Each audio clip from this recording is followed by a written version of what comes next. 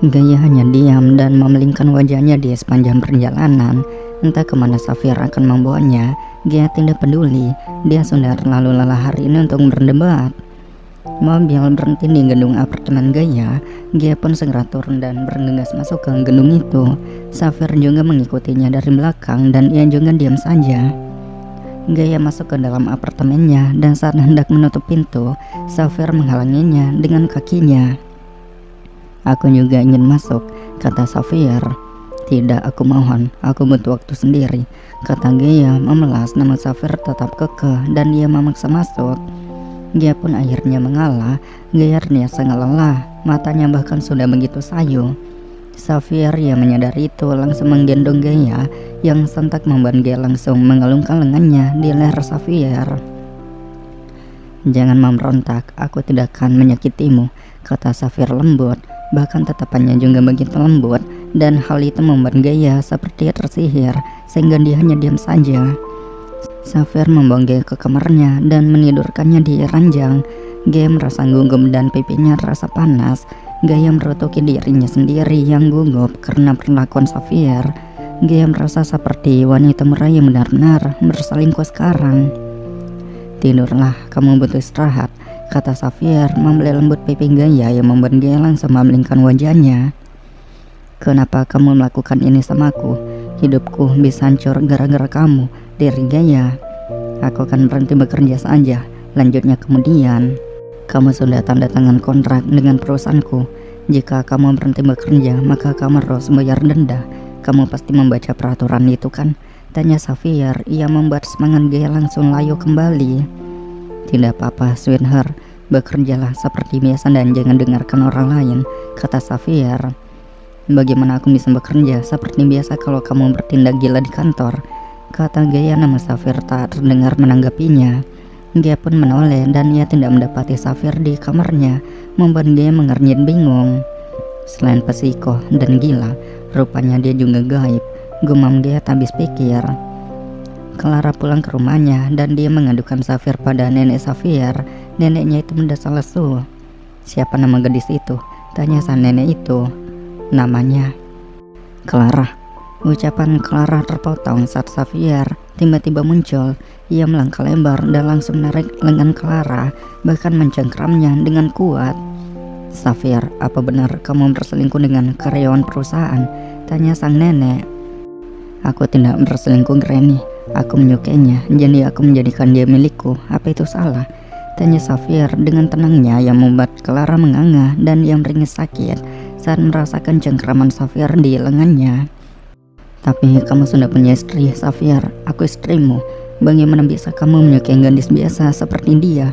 Teriak Clara marah dan Safir semakin keras mencengkram lengan Clara, membuat Clara merengek sakit. Safir sakit, Orang Clara tapi Safir tak mempedulikannya Sementara sang nenek malah hanya diam saja dan tidak membantu Clara Dengar Safir, aku tidak mau kamu punya citra buruk di perusahaan Jika kamu memang menyukai wanita itu, jadikan saja dia simpananmu Tapi jangan sampai ada yang tahu Ujar neneknya membuat Clara menganga lebar Dan matanya juga melotot lebar merasa tak percaya dengan apa yang baru saja didengarnya, sementara Safir hanya terus masam dan ia sudah menduga jawaban sang nenek. Jangan khawatir, Granny, aku tahu apa yang harus aku lakukan. Jawab Safir, kemudian ia menarik Clara naik ke kamar mereka. Kamarnya sudah mereka tempati selama satu tahun, namun kamar itu terasa begitu dingin bagi Clara karena Safir tak pernah menganggap Clara ada di sana. Safir, kenapa kamu melakukan ini sama aku? Tanya Clara sendiri dan bahkan air matanya sudah merembes keluar membasahi pipinya. Safir mempaskan Clara dengan kasar. Kamu pikir apa? Aku tidak tahu tentangmu dan Jamie. Tanya Safir dengan senyum miring yang membuat Clara terbelalak. Ia merasa terpaku dengan apa yang Safir katakan. Safir, sayang, ka kamu bicara apa? Tanya Clara gugup yang berusaha menggapai tangan Safir namun Safir mempaskan kembali tangannya.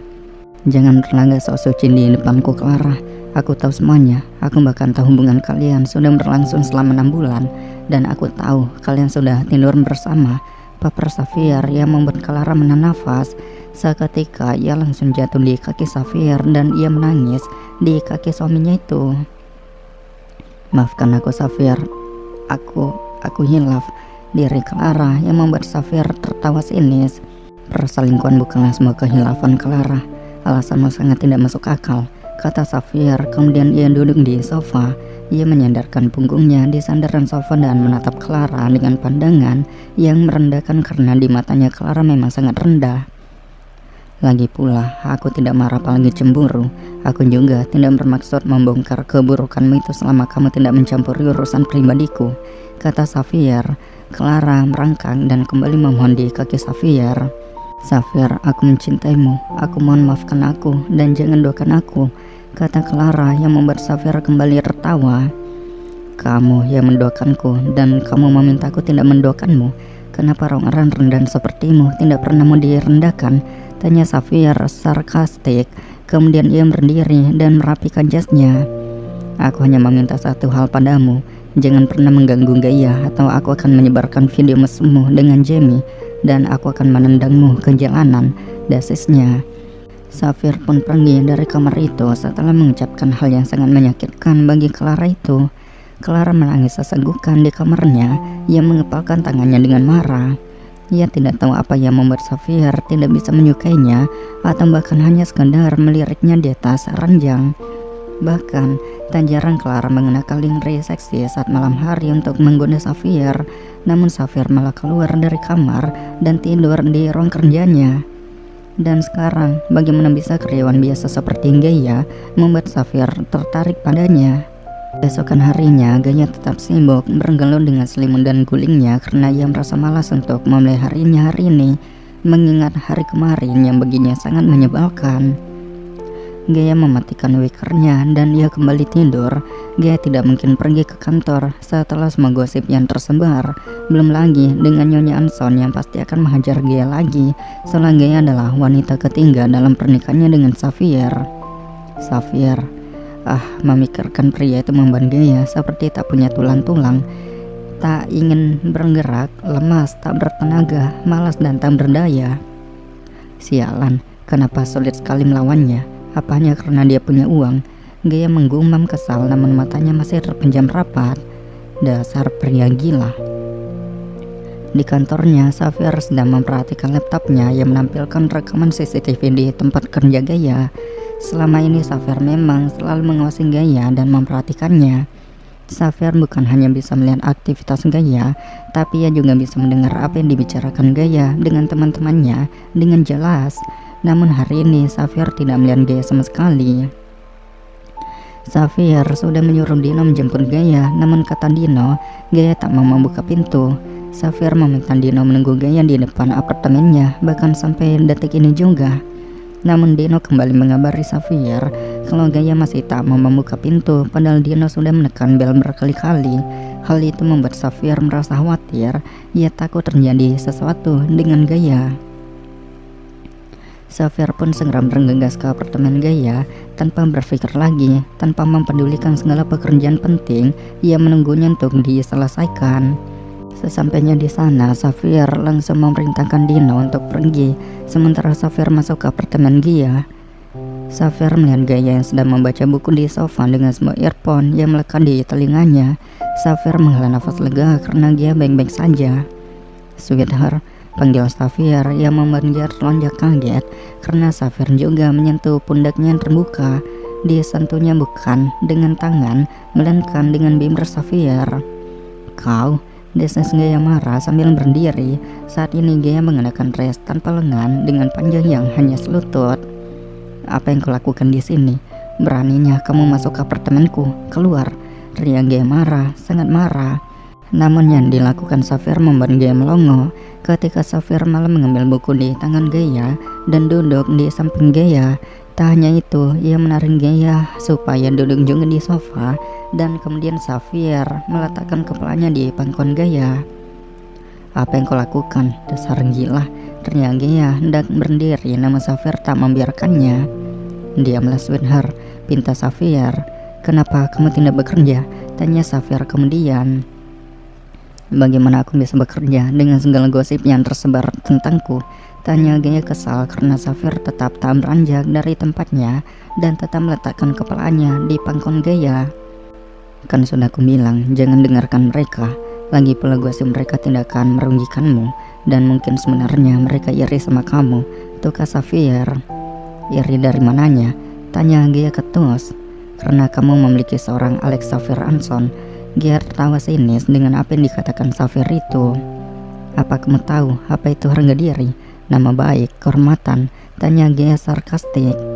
Mereka menganggapku selingkuhanmu, nama baikku rusak, kehormatanku dipertanyakan dan harga diriku diinjak-injak.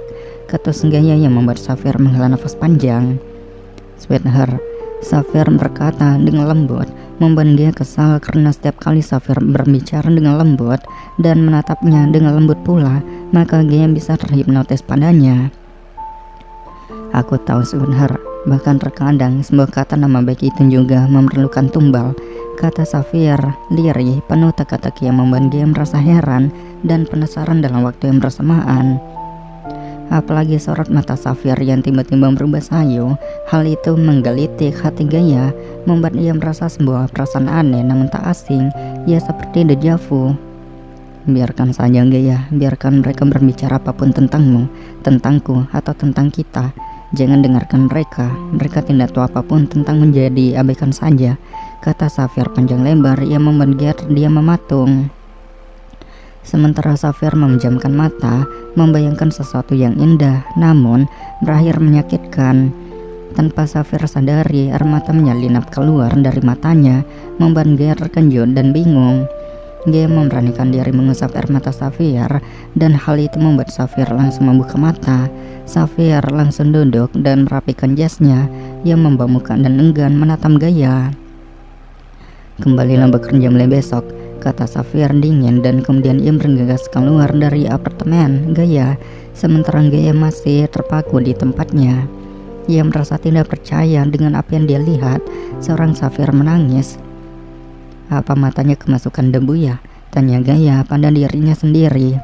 Sementara itu, Safir masuk ke mobilnya dan hari ini ia menyetir sendiri. Safir menunduk dan menyembunyikan wajahnya di setir mobil. Punggung Safir sedikit bergetar. Hal itu berlangsung selama beberapa saat hingga kemudian Safir kembali duduk tegak dan ia mengusap pipinya basah, mengucap matanya berair. Safir menjalankan mobilnya dan ia pergi ke sebuah danau yang ada di dekat sebuah sekolah menengah pertama. Safir duduk di samping danau itu dengan pandangnya lurus ke depan. Ia menikmati belayan angin yang begitu lembut menyentuh wajahnya. Safir memejamkan mata. Ini tempat berkencan kita, tempat rahasia kita juga. Iya, aku ingin sekali punya rumah sederhana di dekat danau. Halaman rumahnya harus dipenuhi dengan bunga-bunga. Ya, supaya aku tidak stres ketika melihat tenangnya air danau ini, ketika merasakan belian angin yang lembut ini, dan juga aroma bunga-bunga segar, membuat aku lupa segalanya. Hanya ada ketenangan dan kebahagiaan. Safir membuka mata, ia menarik nafas dalam-dalam dan menghembuskannya secara perlahan. Kemudian Safir berdiri, ia mengusap bokongnya yang kotor dan seketika ia tersenyum saat ia mengingat kembali masa itu. Kau memukul bokongku elektrik, aku akan mengadukanmu pada ibu, itu pelecehan. Bokongmu kotor, aku hanya membersihkannya. Safir menggelengkan kepala masih dengan senyum di bibirnya. Kemudian ia berjalan ke sebuah pohon besar yang ada di sana. Tangan Safir, rangka dan rambut pohon itu di mana di situ tertulis sebuah kata lack of life is love. Aku merindukanmu sayang, merindukan cintamu.